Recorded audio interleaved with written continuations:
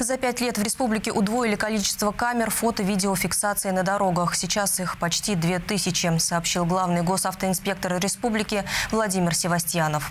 С помощью этих устройств вынесено более 5 миллионов постановлений в отношении нарушителей.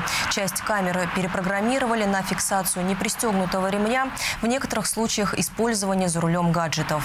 По словам Севастьянова, выработан алгоритм запроса к властям региона об установке на том или ином участке камер фото-видеофиксации.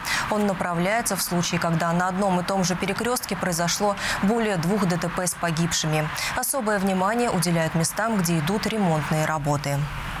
Но передвижные камеры мы используем практически во всех направлениях, в том числе и на участках дорог, где проходят ремонтные, так скажем, работы, в местах производства дорожных работ.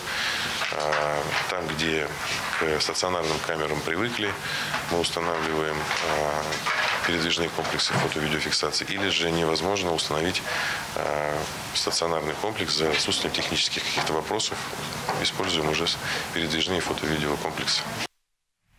В целом в республике за 2022 год, в том числе благодаря наличию камер, число аварий снизилось на 11%, а количество погибших на 15%. Самыми распространенными причинами ДТП являются нарушение правил проезда перекрестков, пешеходных переходов, выезд на встречную полосу.